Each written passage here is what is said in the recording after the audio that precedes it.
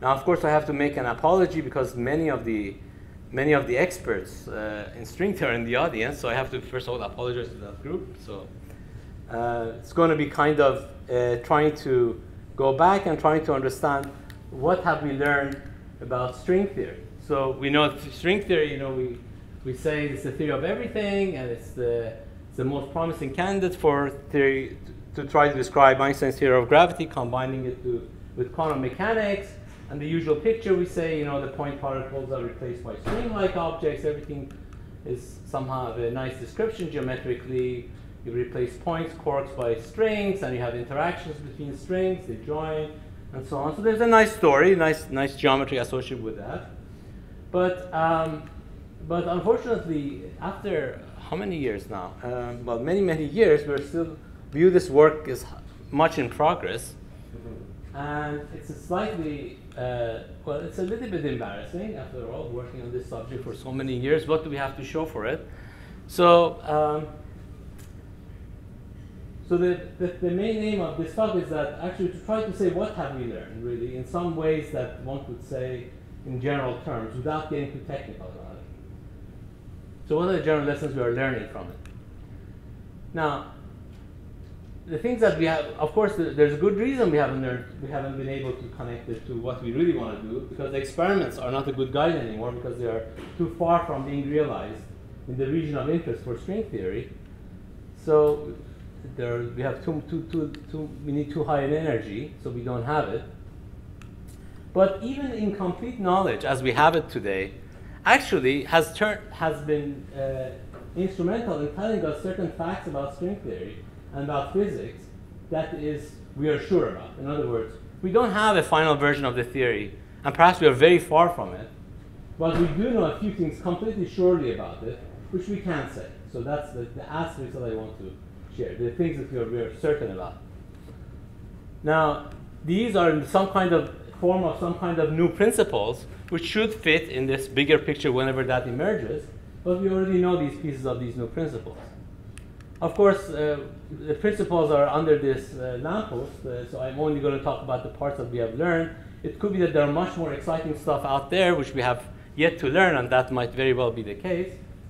But even the areas under the lamppost that we have already explored and we have learned about are already striking for teaching us about new fundamental physics. That's what I want to emphasize. So first I will start with uh, historical lessons just to put it in perspective of where we are aiming for and how we think about it in historical terms. So let's go back and uh, you will recall that many of the developments of physics was always uh, somehow related to, to giving up something we thought was really fundamental. And so if you go far enough back, well, people actually, uh, the Greek, for example, already knew that the Earth is round and so on, and they thought that the Earth was the center of the universe.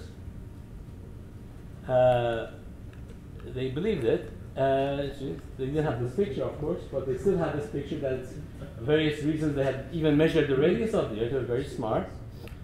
And uh, and they in fact used to argue using symmetry principles. And this is quite amusing that Symmetry ideas is not new, and Greeks were very fond of it. And in fact, they used to argue based on symmetry that Earth does not move.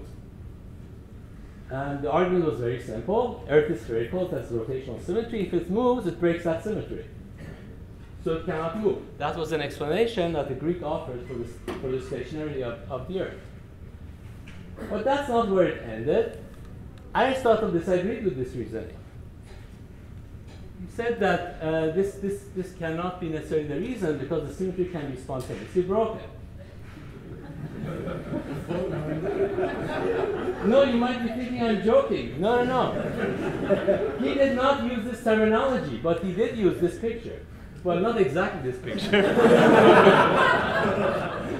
but he said, suppose you have somebody at the middle of a circle, and you put food around it, equal distance. This has a rotational symmetry and let that person stand there. Do you think that person is going to stand there forever or is going to move and grab a piece of food he gets hungry?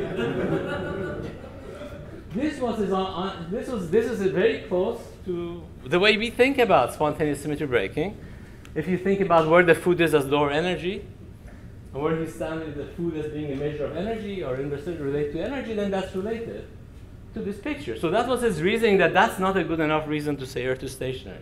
Very smart reasoning. Of course, uh, deep applications of the idea of spontaneous symmetry breaking had to work, had to wait till the work of Nambu and Goldstone, as we have heard today. But anyhow, we learned from even early days that you have to be careful about ideas of symmetry and its application and what it really means. And then we have other notions of absoluteness, absolute notion of time, and of course this fellow told us it's not a good idea to think about it as an absolute. So uh, notion is notion of time as being absolute is not a good idea either. Absolute notion of the state of the system, that what, where things are and position and momentum, we know that's not true either. Quantum fuzziness tells us it's not true. So we are giving up principles that we kind of already knew were there, or, or, or we are giving them up one by one. So I want to basically give you examples of what we think we have to give up in the context of string theory, similar to these principles that we have already given out.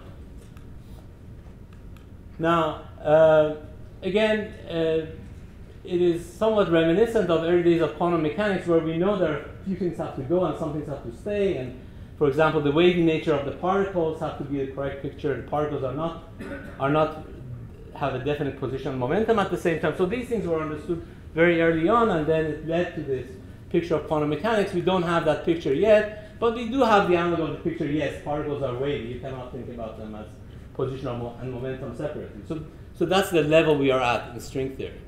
So let's just set the stage for it. And setting the stage actually is another piece of remarkable contribution of Nambu, which is the, the importance of duality. And this is, I think, is, is, is a key to what happened in the early days of string theory as well as the later days. In the early days, we had these dual resonance models where you the symmetry between the two channels the the channel of the particles interactions. And the picture that the string explains that, the picture of the string string unifies that gives the geometric explanation of this duality was one of the cornerstones which led to the development of the subject. So in, in a sense, the subject didn't start with calling string theory, but dual resonance models, which is kind of the underlying feature of many other dualities that we discovered later in string theory of various different forms. So this is the general principle of duality that seems to play a role again and again in different forms. So the idea is that in a more general setup is that you have a physical system which depends on various parameters and the system can look very different depending on how you tune your parameters. So the choices of background solutions in string theory, their sizes and shapes correspond to various points on this parameter space. And if you're, you're at a particular point here, and if you change your parameters, you can go to different regions in your, in your parameter space. And then there are interesting corners where the physics simplifies. And so there are some particular easy corners, and the middle is not necessarily easy, but the corners turn out to be typically be easy to understand in some way or another. And so let me just give them numbers, some names, one to six here.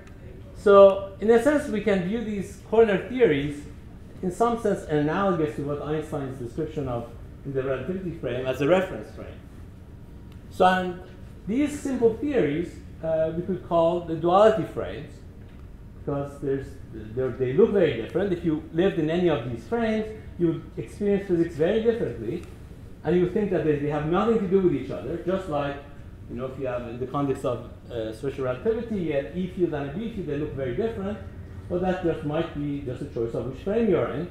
Same thing is happening with these frames, so that the physics looks very different. So then, just as in relativity, we ask, okay, we don't care about things which depend on the frame. We want duality invariant frames, or uh, the things that are Lorentz invariant. That's the, what are the invariant objects. So we ask the same question: What are duality invariant objects? What can we say does not depend on where you are at? Can we summarize that? Because that would be what's fundamental. Okay, so that's the natural question. Of course, we have a nice analogy with this with phase diagrams that you can uh, uh, consider going from, a, let's say, a liquid phase to a gas phase, and there would be no particular point where you can distinguish them. In some ways, you can continuously go from one to the other. So it's in that context, you cannot really say, even though they look very different uh, at the end, but there's no particular point where you say something has happened. And uh, there's no particular order parameter in this sense that distinguishes them. But in a sense, the fundamental invariant problem in this case is that they are made of hydrogen and oxygen, H2O. So there's, there's in that, if you're talking about water, let's say, you're talking about that object, so that's an invariant notion. Of course, you can change the temperature and pressure and all that. That does not affect the existence of these objects in that form. So I like this picture because it reminds me of all these aspects of dualities that we see again and again in these contexts of string theory, where we have different corners of this diagram look like completely different stories going on. And uh, these, these are analogy to the corner theories I was telling you about. Uh, you know, you have the day here, night here, and also and different things going on, the, the land here, and so forth, different kinds of things. And this uh, drawing of Escher actually is very much captures the essence of duality in, in some ways. That if we lived over, if we just were in one part of this uh, frame, we would not anticipate the existence of these other ones being connected so smoothly. But this is how it happens that there's only one frame, the whole thing is actually connected as to one whole, but different pieces might mislead us as to what's actually going on. The middle part is typically very complicated and doesn't look very interesting, or maybe it looks too interesting to understand in some simple form. But the corner ones certainly are easy to formulate as to what, what's going on in each corner. Okay, so now I begin to ask what are the invariant concepts? What can we say is invariant in physics? Are particles the basic building blocks of matter? When, when we usually think about basic building blocks of matter, typically we think about them as particles as being basic building blocks, and that's when I first started grad school, that's what we were told. Uh, now, in the context of string theory, we know that's not true. We know particles can be string-like if you go to shorter distances, or even membrane-like if you go even to other distance scales, or maybe even different dimensional objects. In fact, more generally, you can have different dimensions, and these are the branes of string theory. You can have stacks of them or higher dimensional versions of them. So there's a whole zoo of these guys. So fundamental par particles are not the basic building blocks of matter necessarily. And more than that, there will be relations between new objects ending on objects. These are branes ending on each other and so forth, which are very, very uh, different from a simple picture of just point particles being the basic building blocks. We can have strings ending on branes, and for example, if you have a, a bunch of these branes, n of them, and you have strings going from one to the other, they kind of fill out a matrix, and that matrix, n by n matrix, turns out to be related to a UN gauge groups, that's how the gauge symmetry gets realized in some examples in string theory. So particles can organize into matrices which come from strings and so on. So there's a whole zoo of these things. So already we learned that the basic building block of matter being point particle is not going to hold in the context of string theory. Okay, so that's the basics of particle. How about the basics of space? Is the diameter, length, lengths that we measure, are the diameter of a space, is that an invariant concept? Well, that's the first thing we learn in the context of uh, when we talk about Riemannian geometry or in the context of Einstein's theory of relativity, that invariant distance is an invariant distance. It's something everybody agrees on. If you take two points, space-time, you can measure this, their distance if you go along a particular path. Now, uh, so that's what one might think. So for example, if you have a, if you have a circle of circumference r, then the time it takes for a, uh, a light to go around it, t, will be related to that r in this way. So you say, okay, easy enough. I'll just send a light ray around and say, see how much it takes, how long it takes to come back. From that, I will measure the radius or the circumference of the circle. And it turns out that this concept is not duality frame invariant. That is, there's a symmetry that exchanges r to the inverse of r in the string units. And the way that happens, this is what's called T-duality, one of the old dualities discovered in string theory, is a statement that if you have a, a light wave in one context, it corresponds to a wound string on the other side. So there's, a, there's an exchange between a, a, a, um, what we call the momentum of a photon going around and a dual object, which in this case is a winding mode, so they have the same structures. The energy of a photon is n over r, the usual momentum modes, and here a winding string will be, if you have n times winding, will be n over r, because now the radius here, the circumference is 1 over r. So we'll have the same properties. similarly, if you have a winding mode on this one, it corresponds to a momentum mode of the other guy. So what this means is that if you want to measure, if you want to measure the, the circumference of the, radi- of the circle using this kind of light, you measure the radius to be r. But if you use this kind, you measure it to be 1 over r. Or not, in other words, if you use the winding modes, you measure the other one. So the statement is that there is not an invariant notion of what is light. So therefore, that gives you different notions of what is length. For a given light, you get a different length. So the length is not an invariant concept. Okay. So, so it's metric is not invariant. How about the topology of a space? So let's go be even more basic. Is, that, is how the shape of this, the general aspects, how many holes and so on does it have? Is that an invariant concept? For mathematicians, for sure, it's an invariant concept. And but it turns out that in the context of string theory, even this is not an invariant concept. So we have to give up with the absolute notion of what is the topology of a space. The same physical system in different frames can correspond to strings propagating on spaces with different topologies. So you can have a phenomena called mirror symmetry We'll tell you that's how that happens. You can have two different geometries, two different manifolds. One of them might have a different number of holes compared to the other one. And if you view string propagating in one, it could be equivalent to a different string propagating in a different one. So there's a notion of what is a topology depends on who is telling you how are you're measuring the topology with. It's not an absolute notion.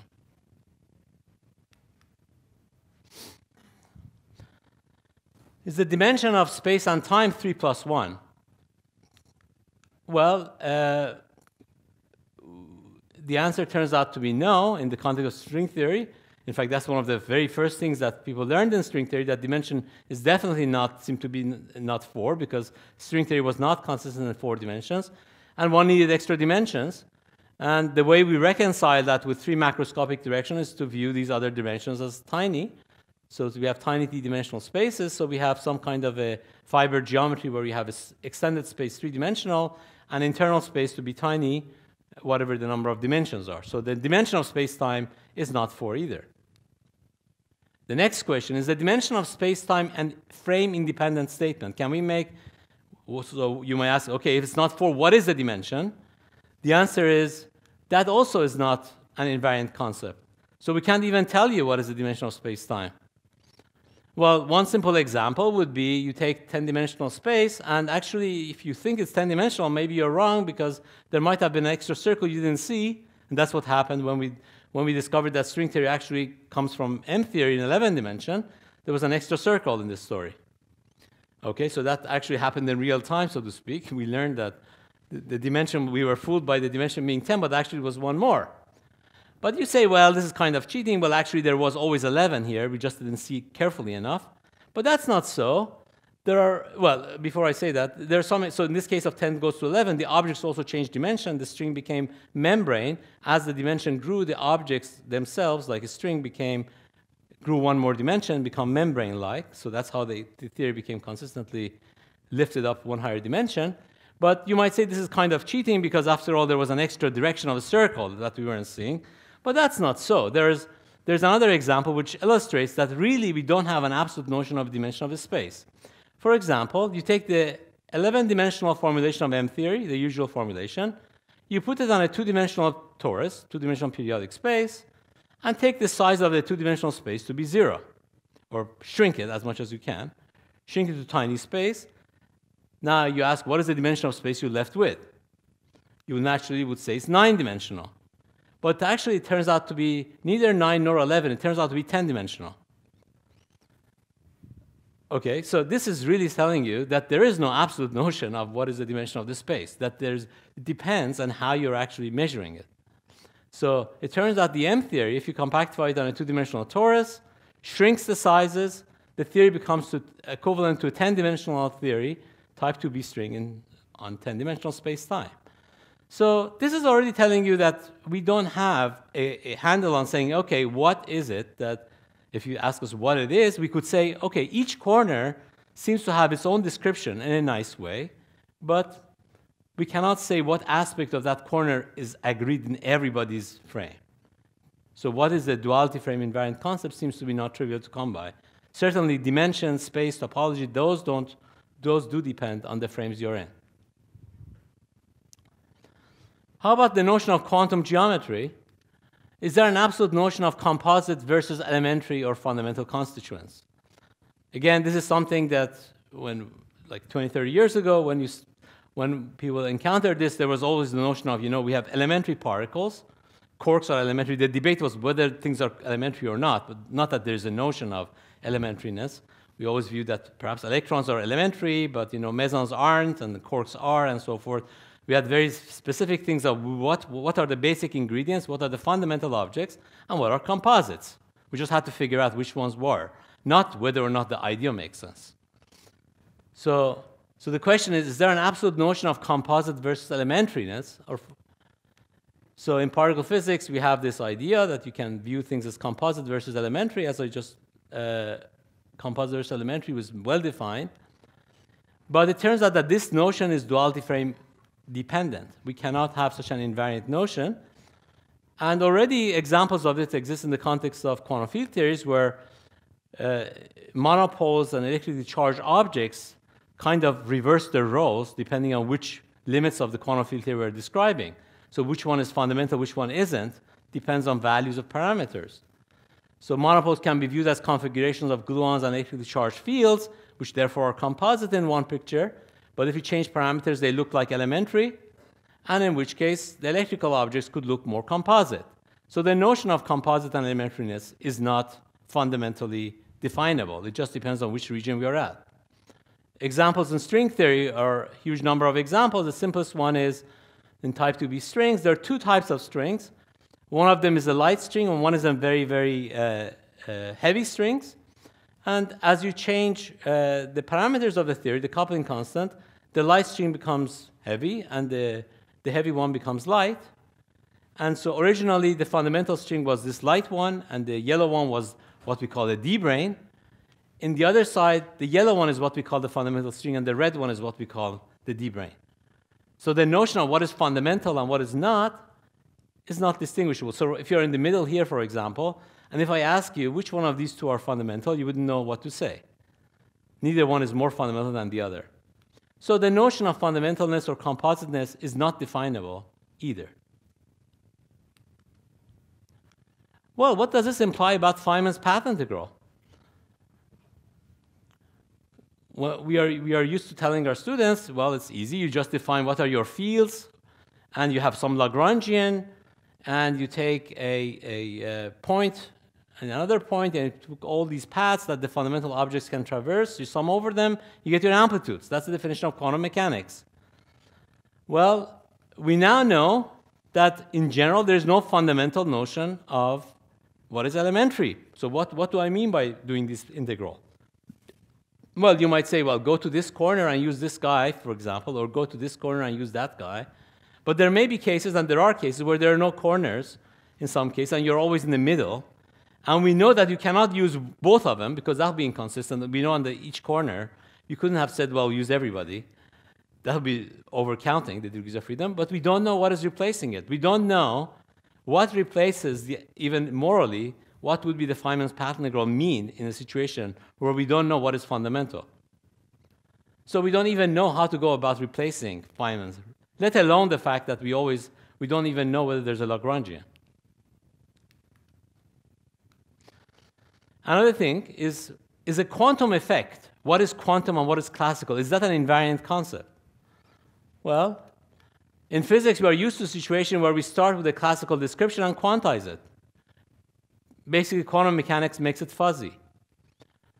You have some classical path, and that becomes fuzzy as you turn on the H bar. So that sounds what we, what we think should be going on. But it turns out that the notion of quantum effects is also not frame, depend- frame independent.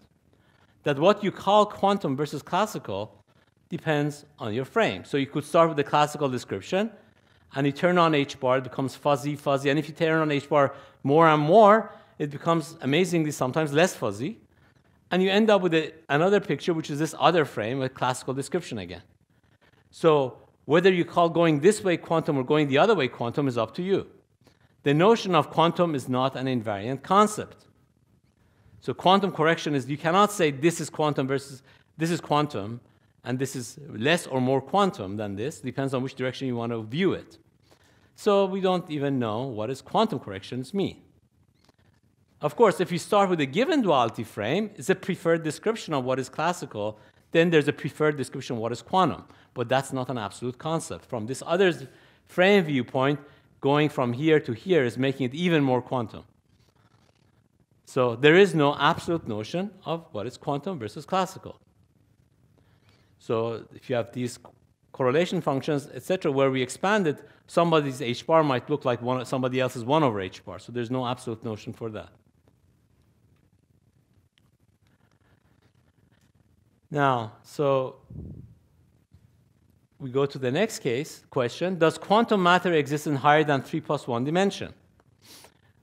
Well, again, when I was starting graduate school, I remember people trying to argue why we live in 3 plus 1 dimension based on the statement that the only interesting interacting quantum field theories are in 3 plus 1 dimensions. And there will be various arguments for this, and the, the basic argument related to point particles having, uh, you know, if you have random walk, it has the usual idea that you have a, a Hausdorff dimension two-dimensional, and so 2 plus 2 is 4, and in 4 dimensions they interact, so you can have interesting interacting point particle theories in 3 plus 1 dimension. And that's kind of was agreeing with all these beautiful theories we were getting from quantum field theories, gauge theories, and so on. So people kind of were happy with this situation. We live in 3 plus 1 dimension because interesting quantum field theories are in that dimension, etc., etc. And uh, when string theory came along, it kind of shed brought a little bit of doubt about that because string theory didn't like four dimensions, only had to go higher dimensions. But but that still was, if you were talking about gravity aspects, but particle aspects, like things that we are made of and so on, still sounded four dimensional, except that, uh, so, so this is what I need to clarify. So when we say higher dimensional, we mean, of course, uh, are there decoupled theories from gravity? Can we talk about matter systems which don't think rely on gravity for their existence? Like things like matter we were talking about, we can forget about gravity when we talk about interactions that uh, about matter that we are talking that we are made of, for example, are there similar systems? Can they exist in higher than four dimensions? And uh, I told you about these heuristics about three plus one and why it could be the highest dimension. But we have learned in the context of string theory that there are uh, higher dimensional consistent quantum systems all the way up to six, not higher. So at least we don't know if there higher ones can exist or not. But we have learned that up to six they do exist as matter systems which are decoupled from gravity. So we could have perfectly consistent matter systems in higher dimensions. Where in this case, the notion of what is elementary, what plays the role of particles, is replaced by the notion of tensionless strings. So that somehow string plays a role in these contexts, and interacting particles and strings uh, turn out to be what is the, the uh, uh, what is takes the what leads to an interesting quantum system in these cases. Now, these theories are very interesting, and they're very enigmatic, and we do not know how to do computations with these theories. So it's one of the amazing power of string theory to come up with existence of these theories, but even, even so, we don't know how to compute with them. In fact, these are among the theories which also violate the next condition. Does every theory have to have a Lagrangian? And it turns out that these theories, as far as we know, they don't have a Lagrangian. At least we, don't, we haven't found one. So it's conceivable that there is no Lagrangian description for these theories. So this notion that everything to have a Lagrangian, a basic ingredient, and all that seems to go against at least this example. But we know they exist. Now, do black holes have microstates? Well, this was a question that was posed by work of Bekenstein and Hawking where uh, we actually now know this sounds like an interesting picture given the gravity waves, but anyhow. So, so we know that according to the picture of Bekenstein and Hawking, that there is indeed a huge amount of microstate expected, but this was one of the big puzzles about how to explain this, and uh, why is the number of states goes like exponential of the area of the horizon, and this is actually uh, the hint of a holography that already was was there back then, where instead of the number of degrees of freedom going like volume, it goes like area. And the main questions were what are these states? Where are they hidden? And uh, string theory comes and gives a good answer to this. So, where are they hidden? Turns out to be related to an embarrassment of string theory. Embarrassment of string theory was that the dimension of string theory was more than 3 plus 1. So we had extra dimensions, and we usually try to compactify and get rid of them. So that was an embarrassing situation. We want to hide away the dimensions. And where, what these states are, again, turned out to be an objects that we were missing in string theory. These extended objects, these higher dimensional objects, turned out to be the relevant to resolving this problem. So it turns out both the extra dimensions and extra kinds of branes were necessary to resolve this question in the context of string theory. So in the context of string theory, we have a situation where if you think about our space as this extended uh, blue space here, and your internal space is like this donut, and if you wrap around some kind of a membrane around it, which is localized at a given point in space, it gives you a, a, a state. But if you wrap more and more around this, you can make more and more massive objects and what we could call black hole. If, if it wraps around sufficient number of times, so if I can manage to get this going. So it deforms the geometry of space if it wraps around it. Yeah. So, so we have a picture like this where we can wrap around branes around it and we deform the geometry of the space. And we just say, oh, the number of degrees of freedom of here can be counted not by looking down here, as Bekenstein and Hawking were doing in this case, but it's hidden up there in the extra dimensions of string theory by wrapping these objects around. So counting of how these are wrapped around gives an answer to what is the entropy of these black holes, at least in certain examples that have been studied in string theory, uh, especially the context of supersymmetric examples. So this, this gives you a model for how these kind of things can occur in string theory, but it also says that there's an interplay between what we think should be a decoupled question of gravity in lower dimension with something might be going on in the internal dimensions of the theory. Next question, are electromagnetic forces distinguishable from gravitational forces?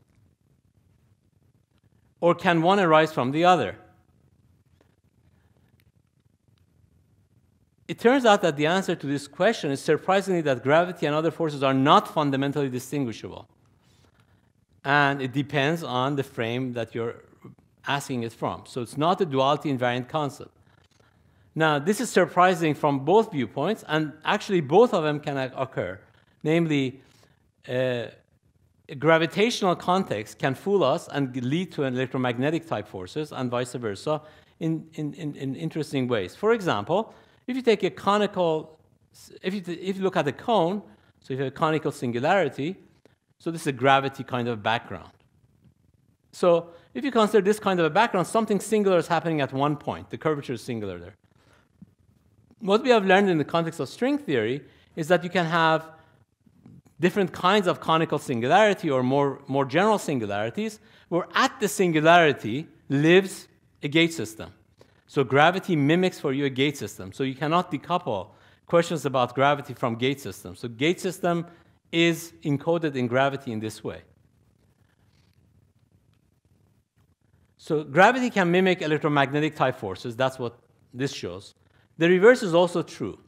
That is, electromagnetic type forces can also mimic gravity. And this is an amazing subject, as you well know, called holography, and the famous example is in the context of 4D systems. So you have 4D quantum system, where if you consider a gauge system in four-dimensional space, it mimics gravity in five-dimensional theory. So, so the extra dimension and the, the gauge theory description on the boundary is giving you all the information about the gravity part, at least in principle. So this is already showing you that there is no invariant notion of saying what is gauge theory now versus gravity. Of course, to get this picture working, you need a very bizarre type or strange type of electromagnetic kind of theory. You take an SUN gauge theory, so it's much more complicated than the U1 case, and you have to take n to be very large. So for very large n, this is true. But this also tells you, is for, for any n it's true actually, not just for large n. But for large n, this picture becomes easy to draw. That is, what does that mean? That means the internal part, the, the five-dimensional geometry, is not highly curved. But even for n equals to 2, like SU2 gauge theory, this same picture is still true. So SU2 gauge theory, n equals to 4, is a gravity theory. It's gravity theory on a very curved space, that's all. Okay, so if you wanted to think about SU2 gauge theory in four dimensions with n equals to four Yang-Mills, it's just a few bunch of fields, nothing too complicated. You can write down the Lagrangian on a line, not too complicated system. You are describing a gravity system in a highly curved space. Therefore, there is no invariant way of distinguishing that theory from gravity. Now, you can take that theory, put it on a lattice, quantize it, and so on, and you can say, well, it's made of just lattice points, and lattice points are made of some integrals and so on. So ultimately, you reduce everything to some simple integrals of simple forms, and you're saying that's equivalent to quantum gravity in some form. It's remarkable. So there's no duality invariant way of saying where you started talking about gravity, where you start stop talking about gauge theory. And so in this case, for example, the information is in terms of the graviton scatterings, which gives you equivalent data for what's going on in terms of the correlations of the gauge theory. So another way to think about this is that you start with a geometry where you have branes, and branes deforms the geometry, and it in includes includes the, gives rise to a new geometry. So it's what we call geometric transition. So that's one way to understand uh, how you think about the holography, where this. So if you think about the original space, the branes are wrapped, it shrinks, and you end up getting the new geometry where the branes are replaced by the fluxes in the transverse direction. So there's the information, and that's a dual description. So on one side, when the gauge couplings, when the, when the rank of the gauge group is large, the gravity description is better. When the rank is small, the gauge theory description is better. So there are two dual descriptions. Again, we do not know, we cannot say what is an invariant notion of gauge forces versus gravity forces, therefore. Is the universe unique? The answer, of course, is a resolute no, and by this we mean the number of allowed solutions that could represent our universe is far from unique. This is somewhat discomforting. so we thought that the Earth was the center of the universe, and they say, which universe? That's the question, no?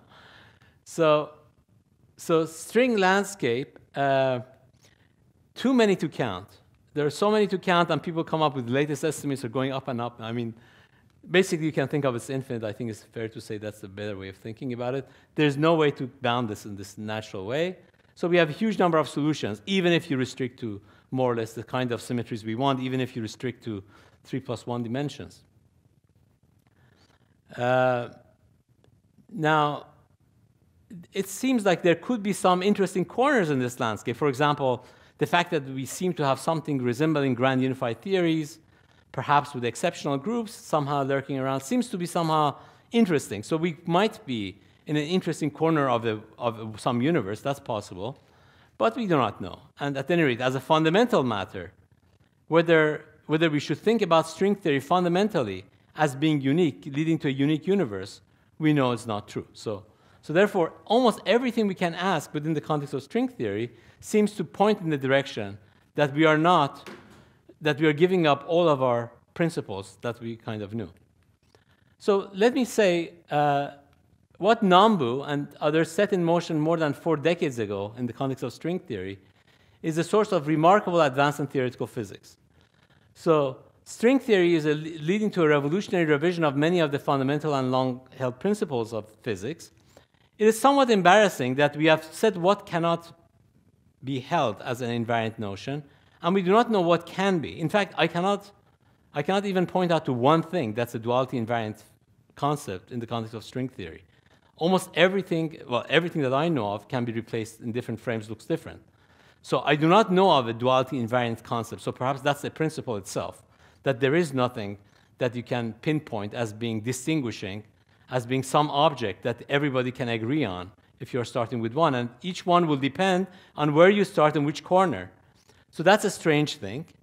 But it's clearly we, we need to say, but not everything goes, of course. In other words, when, for example, I was saying the topology is not an invariant concept, I didn't mean that a theory with any property of topology is equivalent to some any other one. No, there are very specific rules.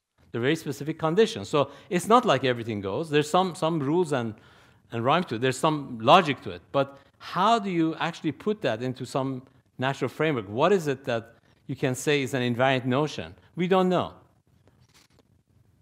There are many hints of new principle of relativity in the sense of duality frames, but we do not know how to put this in terms of an invariant notion. We do not know what it is. how to even go about phrasing the analog of what Einstein would formulate as an, as an invariant notion. But one thing is clear that physics is already looking very different from when I was a graduate student. The things that we have learned tells us many of the fundamentally held views that we had of physics is not true, but we do not know what is the, what is the framework which includes all of them in a consistent form. So I will stop here. Thank you.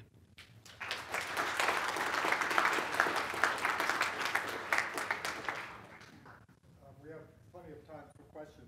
Uh, maybe I could just offer a comment. I was a Nambu's student uh, not long after the early days of string theory in the late 80s. And uh, already at that time, sorry, already at that time, string theory looked very different from uh, conventional physics already in the, in the early days, and it's only gotten more so. Anyway, Nambu used to refer to string theory as postmodern physics. I think that seems very apt given what we've just heard. Um, any questions or comments?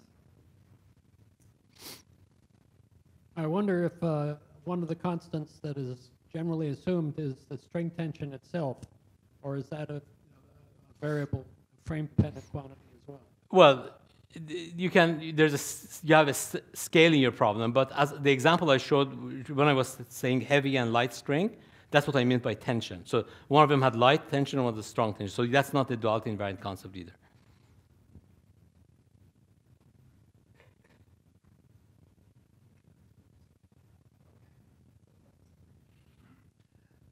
This is all this is all fine, but ultimately, don't we have to test everything in terms of our technologies in four dimensions, four dimensional laws that we test? Yes. So if we cannot test them by any technologies that we know in four dimensional space and time, how are we going to know? Otherwise, mathematics allows us a lot of imagination and a lot of different ways of describing nature, just like many different languages describe. So that is the problem in string theory for me. Okay, well, your question, of course, is, uh, is a valid question, that uh, what is the connection of string theory with experiments, which we don't have today. And in the near future, I cannot offer a, a practical way to get the answer to that, given that we don't have the technology. Uh, so in the meantime, there are two or three different kind of answers to that question. First of all, quite independently of the main goal of string theory, which is a fundamental theory of physics, there are offshoots of string theory which are already impacting all these different areas of physics. That's number one. Which, and these are areas of physics which you can see in plasma physics or condensed matter physics or this and that. So there are many different ideas coming from string theory. So if, if even if you don't view string theory as a theory of fundamental physics, you can view the string theory as the origin of many ideas which have had many applications. That's number one. Number two is that there are many uh, unexpected things that could come up with experiments which we don't know yet. Things having to do with maybe black holes, things maybe having to do with cosmology that we do not know whether they fit or don't fit string theory. But that is the second question. The third one is many of the questions in string theory are purely theoretical physics questions. Like, take a gauge theory. We take gauge theory and start modeling it. Like, QCD. The models I was telling you about, SUN gauge theory, are very similar to what we do in QCD. Maybe you have a few more matter and this and that. You might ask, can we say what these theories look like at strong coupling? We now have answers to it using string theory. So there are many theoretical ideas and potentially connection with the experiment which are already around the corner. So I think the idea that the experiments today are not available should not hinder us not thinking about it. That's, that's my view of it.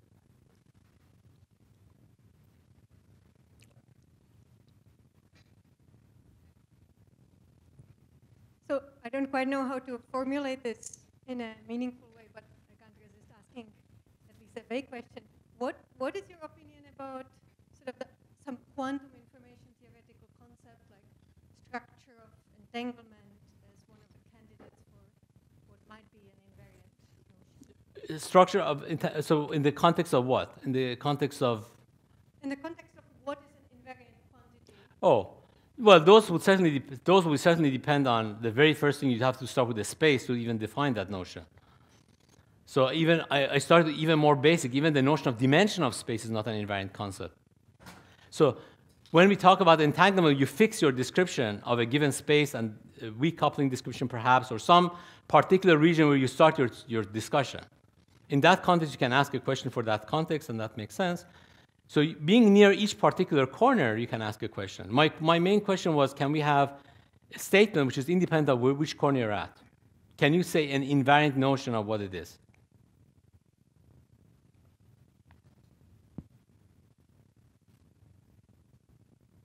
Can you say anything about energy conservation? Well, uh, good question. Uh, the answer would be we know that energy conservation is related to time translation invariance. So abstractly, you would say, well, what is time translation invariance? In these contexts, especially the concept of quantum gravity, the notion we know of space and time is going to be quantum corrected quite, quite humongously. So the notion of space-time itself is, is quite a different concept. So I would say that the statement of energy conservation and all that will certainly refer to a particular frame. You have to have a description of a system to talk about it.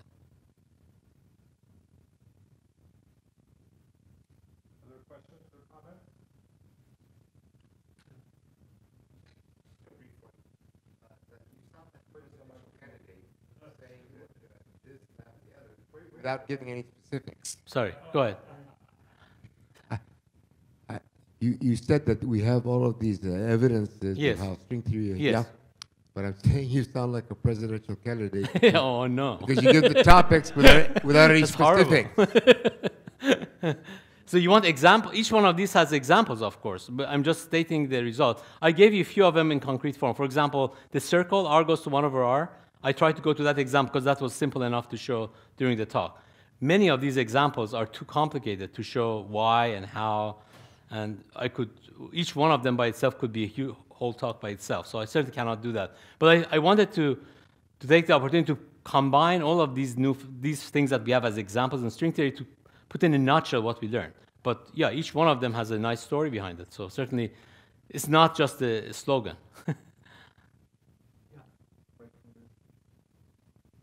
So you have these um, relationships, and the question is, are there hierarchy of relationships? In other words, there are some which are more universal than others, even though they will fail. Because you give an example. But is there any way of cataloging particular? You know, corner one and corner two have this in common, but that that is, that is not. In other words, they are kind of, I would say, effective invariants within a certain. Well, there are some aspects of, of what you're saying which is there. If you decouple gravity, for example, the notion of dimension seems to be is, is invariant. So there's there are some questions. So if you're not talking about gravity is mixed, then you can talk about dimension. So there are some pieces that you can make it invariant. But I would say that uh, if you include everything in, I do not know any. I do not know any particular one. So if you if you put extra conditions on what you what you don't want to change or what you want to keep fixed, then you can have, then you can have some sub things which are invariant. That's what, after all, in quantum field theory, the dimension of space-time is well defined. So that that uh, how, how did that come about? Well, that's because you you you changed your question a little bit. You decoupled the gravity question part of it. I'd like to ask a question, which actually is uh, selfishly because it has to do with my talk. Uh, which is you put forth a notion uh, in other contexts of something you refer to as the swampland. Do you have a, like a status report on your thinking about that, things which might not happen in string theory? Well, that's a, another example which I'm certainly very interested in. So, the, for those who are not familiar, the question is whether or not, if you write down, so in, in, um, in field theory, we are used to writing down effective field theories. And if they pass certain checks like you know, anomalies and this and that, we believe in some form they could arise, perhaps as integrating out some other degrees of freedom. So we, don't, we have a kind of a feel about what kind of, what kind of quantum field theories, kind of things we write down could be effective descriptions, and we are fine with it. So people try to do the same mentality with gravity. They say, oh yeah, just add the gravity to the equation, Einstein's equations, and couple them to matter. As long as it looks consistent, then you're fine. Well, we learned within string theory that that's not necessarily so. That is, there are some systems that you might naively think they're consistent, but they actually are subtly inconsistent. And so some of these subtly inconsistent reasons we have figured out, and some of them we haven't even figured out. So the notion of apparently consistent field theories that we think are consistent, we call them as swampland, which are not consistent, we call them swampland. That is, they fool us to thinking they are real. Now, uh, we do not know. So, in other words, the question is what is the universality property of a gravity coupled to matter, which tells us just by looking at the action or something, this is not allowed or this is allowed? We don't know that yet. So we don't know what, what it is that distinguishes them. Uh, we, have begun to, we have begun to learn actually that there are some aspects of this that can actually be understood from gravity side. Um, for example, there's this conjecture called the weak gravity conjecture, which is related to an example of swampland, where the gravity in all these examples of string theory in all the corners are the weakest force. So the question was, can you actually come up with an explanation of that? Why is this the case? So this was observed by looking at string vacuum solutions, and some some explanation has uh, has recently emerged on gravity side, so that could potentially be expanded on.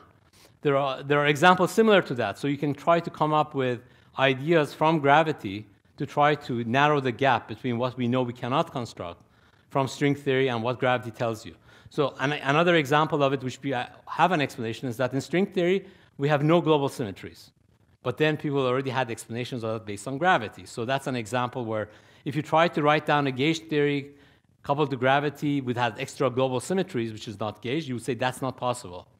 Well, that's an example of the would-be swampland, which has a kind of a kind of a gravity explanation. So in the context of black hole physics, for example. So there, is, there are examples like this, which I, I think that we should try to come up with more uh, examples from string theory to guide us what kind of questions we should address from within gravity as saying this is inconsistent, but come up with purely gravitational reasons, gravity reasons, why they are ruled out. And so we should try to connect them. I think that's, I think one of the areas in string theory which is highly underdeveloped, and it's, I think it's about time to develop it.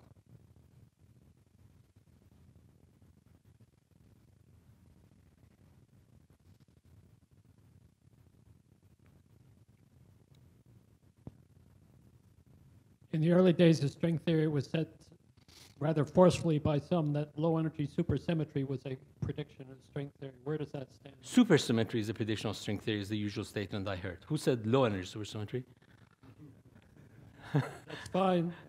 So you would accept Planck scale supersymmetry? Yes, yes, yes. I think, I think most of the people say supersymmetry is a prediction of string theory. Now, low energy supersymmetry is a wishful thinking for, ours, for us, and we hope it's true.